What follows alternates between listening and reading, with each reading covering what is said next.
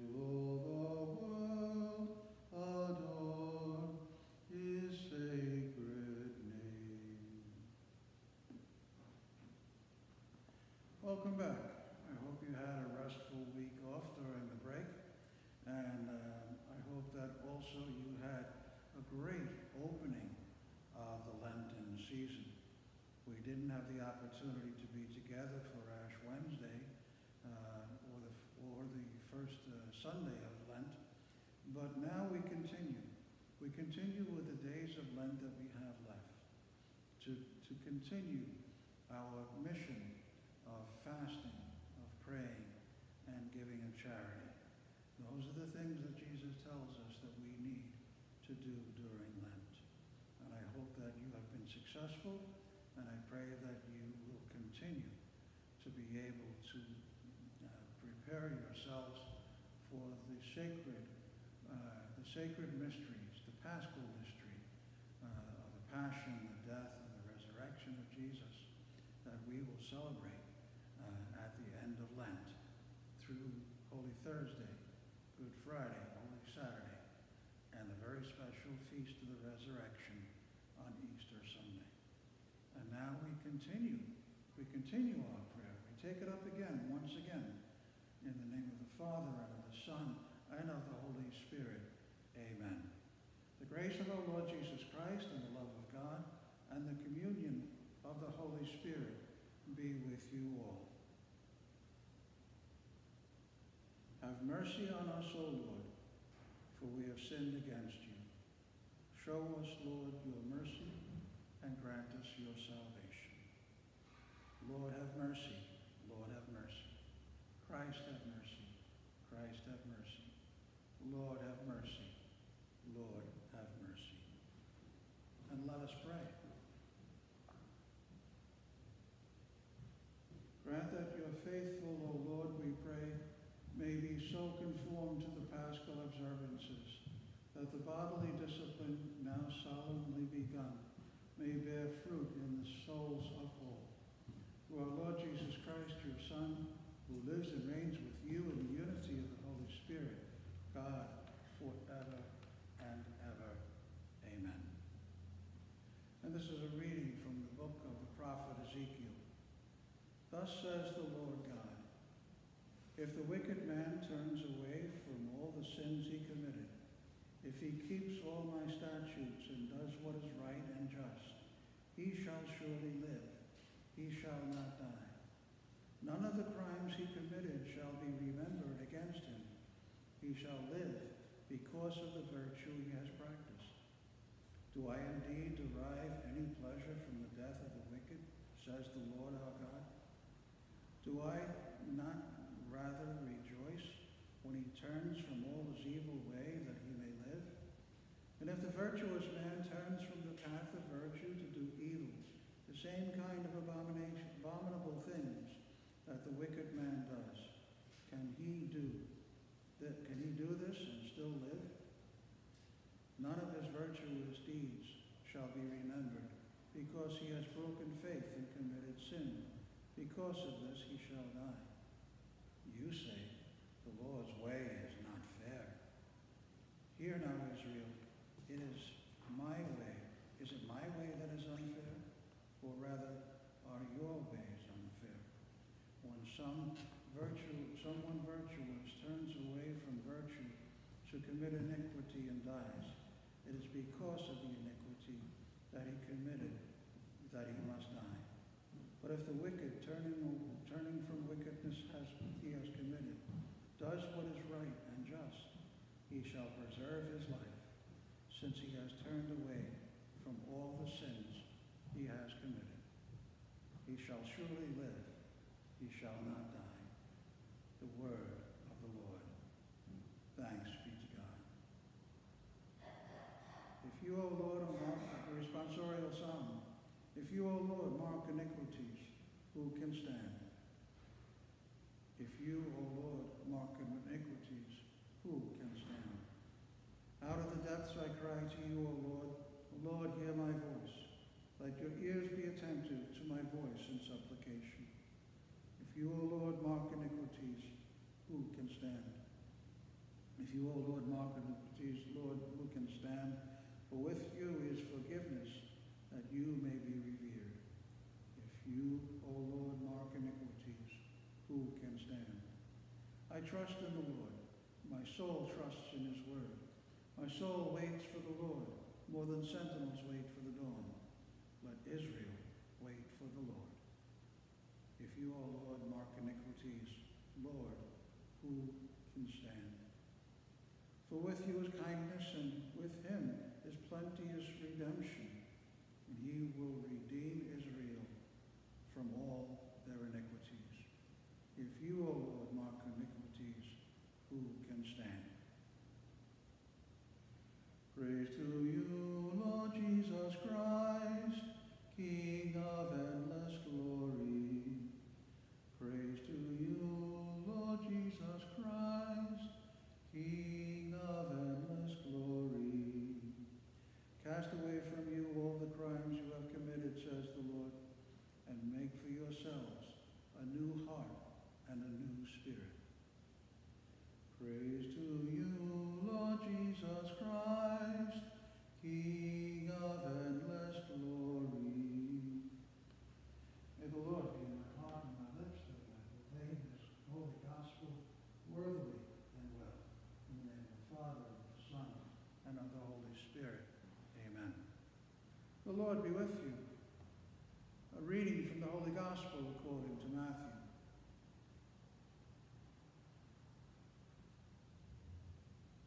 Jesus said to his disciples, I tell you, unless your, your righteousness surpasses that of the scribes and Pharisees, you will not enter into the kingdom of heaven. You have heard it, heard that it was said to your ancestors, You shall not kill, and whoever kills will be liable to judgment. But I say to you, whoever is angry with his brother will be liable to judgment. And whoever says to his brother, Raka, will, will be answerable to the Sanhedrin. And whoever says, You fool, will be liable to fiery Gehenna.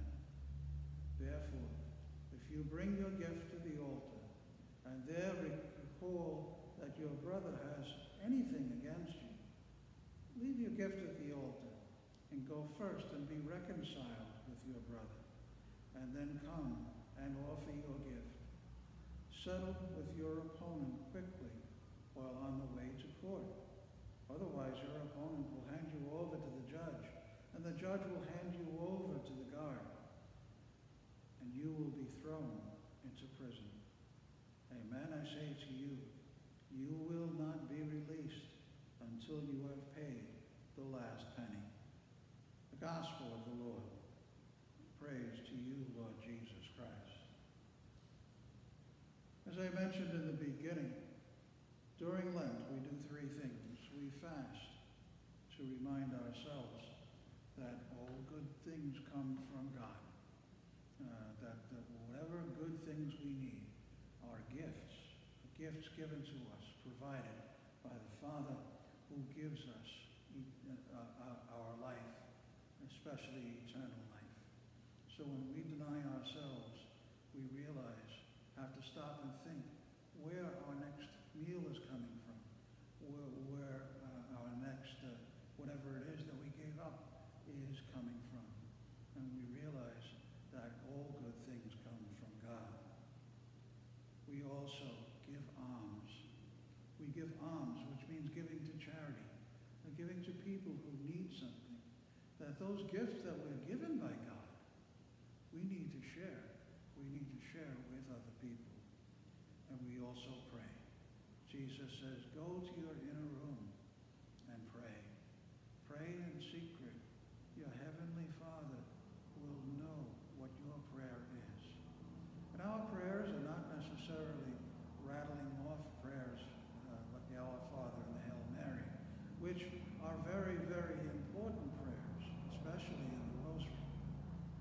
But it's also opening our hearts to God to understand what His will is for us and to pray that God will help us and will help everybody who is in need. But there's something very special in today's, God, in today's readings. And the readings are about, are about anger and hate and keeping God's commandments. Where the, the, the, the story says, uh, the gospel story says, uh, you were told, do not kill. That's one of the commandments that we learn. But Jesus tells us, don't even be angry. Anger is one of the seven deadly sins, as I'm sure you're learning in, in, in your religion classes also. And and to realize that anger, anger is sometimes uh, directed at someone else, actually wishing someone else harm. Of course, we have righteous anger when, when something wrong is happening to us. We're angry about a situation. Now, that's a totally different thing. But when our anger is directed at other people, then that is a problem. When we are so angry that we wish harm on somebody, and even, even worse, to wish eternal damnation, to say, I wish that ne- that person would never go to heaven. And that's what that word rakah means, that Hebrew word. And it ta- talks about, about the fires of, the fires of Gehenna, which is the Hebrew word for, for hell. So we want to make sure that through the acts of prayer and almsgiving uh, and, and fasting, that we are removing all of those things from our hearts, that we are listening to God's law of love. And what is God's law of love? To love other people and to love God above all. And somewhere in there also loving ourselves because we are made in God's image and likeness. We have to care enough about ourselves to make sure that we are on the right path, following God's law. And that is our prayer today. That is our prayer, that our hearts will be open and that we will, will be prepared. We will be prepared to meet God, certainly at the end of time, and to, and to celebrate his great act of redemption, which is his passion, his death, and his resurrection. May God bless us all. And so we pray.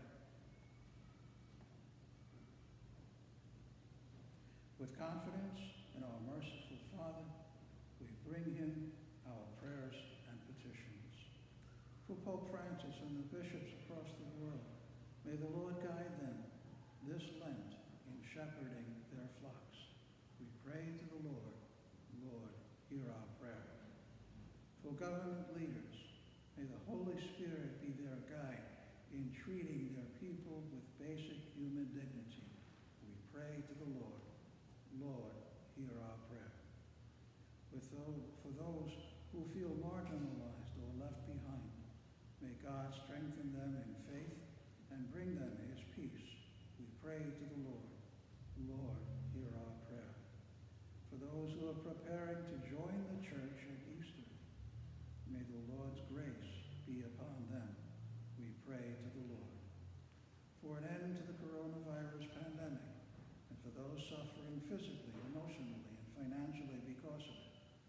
pray to the Lord, Lord, hear our prayer. For a greater respect and protection for all human life, from conception to natural death, we pray to the Lord, Lord, hear our prayer. For all who have died, that they may soon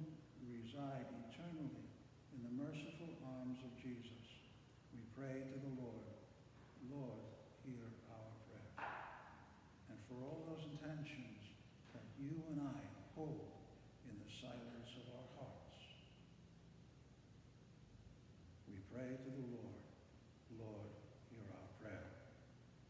Almighty God, who chose to entrust the beginnings of our redemption to the loving care of St. Joseph, by his intercession, grant that your church may cooperate faithfully in the fulfillment of work, the work of salvation through Christ our Lord. Amen. And at the Savior's command, informed by divine teaching, we dare to say, Our Father, who art in heaven, hallowed be thy name. Thy kingdom come, thy will be done, on earth as it is in heaven. Give us this day our daily bread, and forgive us our trespasses, as we forgive those who trespass against us. And lead us not into temptation, but deliver us from evil. Deliver us, Lord, we pray, from every evil. Graciously grant peace in our days, by the help of your mercy we may be always free from sin and safe from all distress, as we await the blessed hope in the coming of our Savior, Jesus Christ. For the kingdom, the power, and the glory are yours now and forever. Lord Jesus Christ, who said to your apostles, Peace I leave you, my peace I give you. Look not on our sins, but on the faith of your church, and graciously grant her peace and unity in accordance with your will, who live and reign forever and ever. Amen. The peace of the Lord be with you always.